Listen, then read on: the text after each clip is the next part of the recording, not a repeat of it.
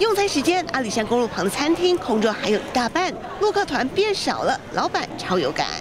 以前哦，在我们餐厅哦，陆客进来都是排队的状况，但是在今年哦。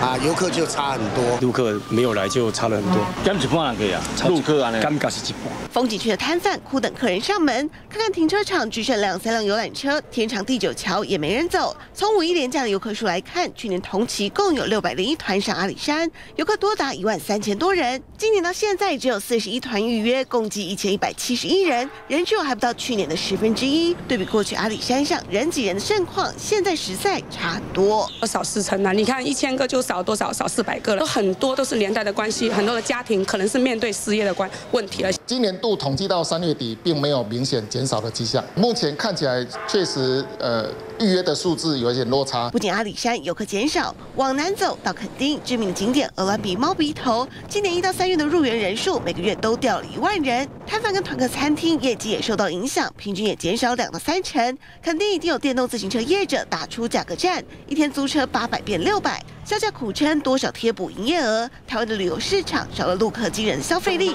不止影响生计，恐怕也会冲击观光产业。就文章中华嘉义垦丁做报道。